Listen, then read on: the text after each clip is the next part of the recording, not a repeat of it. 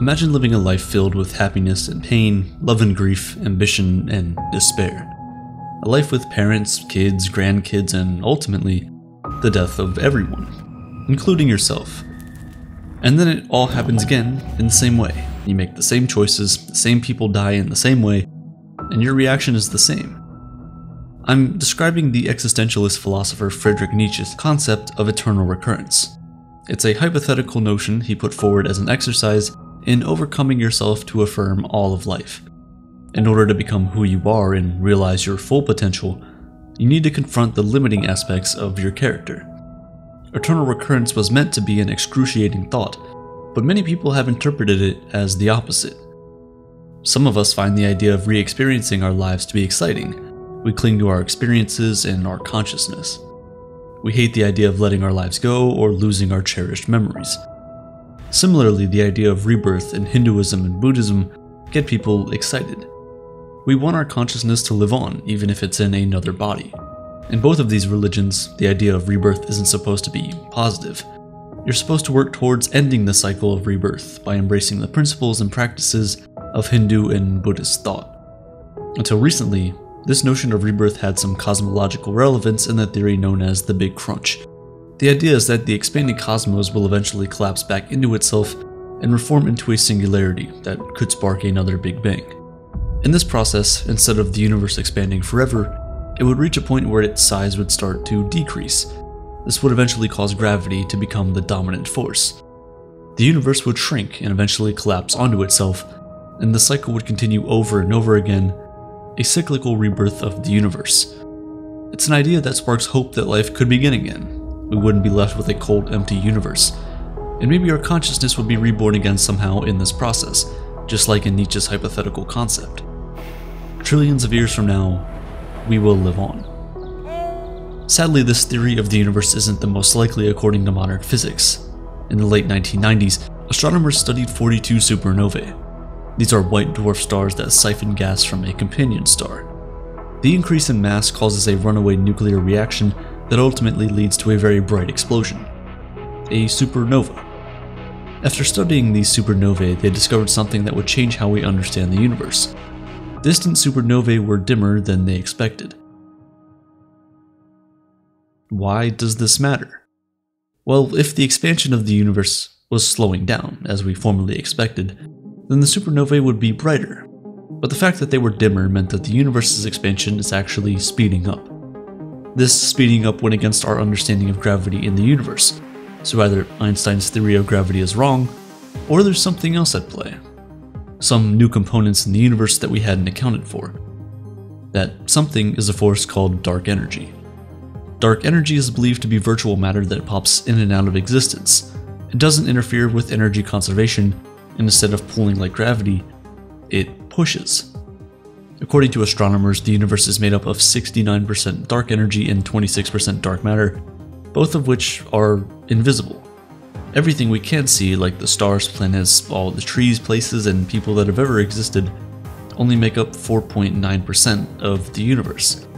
The remaining 0.1% are neutrinos, and 0.01% are photons. The force of dark energy is believed to be a constant, expanding the universe continuously without stopping or regressing. The impact of this dark energy is that the expansion of the universe will never slow down.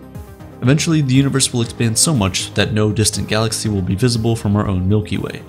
And by then, our galaxy would have merged with the neighboring galaxies. The end result here is what's known as the Big Freeze, or the heat death of the universe. Due to the endless expansion, all heat will be distributed evenly across the universe, leaving the cosmos in a final resting state at just above absolute zero.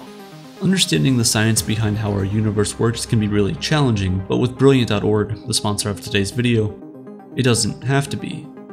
Whether it's physics, math, or computer science, Brilliant offers thousands of lessons that are broken down into bite-sized pieces and are taught interactively. That way you're not lost in all the theory of these mechanisms, but can actually understand how they work in the real world. AI has practically taken over the world, but most of us still don't understand what exactly it is or how it works. If you want to learn how things like ChatGPT work, Brilliant's course on how large language models work is the best place to start. With features that allow you to challenge yourself and compete with others, Brilliant makes learning even the most complex subjects fun. Each course is customized to fit your skill level and goal. So just set where you are now and where you want to be, and Brilliant will do the rest. To try out the How Large Language Models Work course and all the other courses completely free for 30 days, go to brilliant.org slash aperture or click the link in the description. The first 200 people to visit also get 20% off a premium subscription, which unlocks every single course Brilliant has to offer. Back to our story. Entropy is the measurement of everything in the universe moving from order to disorder. According to a thermodynamic principle, entropy will increase until it reaches its maximum value, and when entropy has reached this value, all the heat in the universe would have been evenly distributed. There will be no more room for usable heat energy. And once there's no heat, there is nothing. Star formation will have ended long before this. The universe would be so vast that its gas supplies would be spread too thin for any new stars to be born. Galaxies will be gone and all matter will be locked inside black holes. Eventually, even the black holes will disappear. This dark era will last way longer than any other period of the universe. Time will be almost infinite at this point. Time began with the Big Bang, and it likely ends with the Big Freeze. Mechanical motion in the universe will cease altogether. Nothing will ever happen again. The universe will effectively be dead. But is this heat death a sure thing? Just like everything else, not exactly. The assumption the Big Freeze makes is that the force of dark energy is a constant, but according to our best measurements, there's a bit of uncertainty about whether dark energy is a constant. It's also possible that the force of dark energy will just eventually change. Dark energy could become stronger, and even if it gets just a bit stronger, it could lead to another theory of the universe's end the Big Rip. This is where the pull of the universe's expansion becomes stronger than the gravity it contains.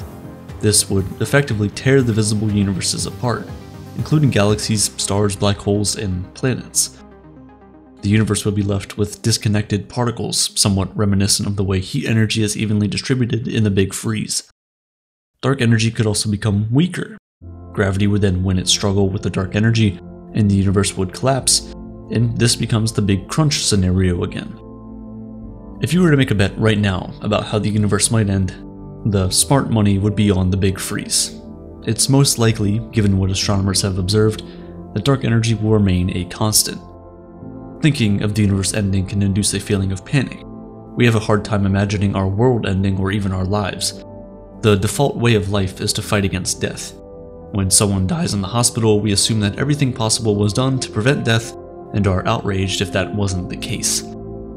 Horror films reaffirm the underlying assumption that death is to be feared. Death is so terrible to so many of us, that the genre is called horror.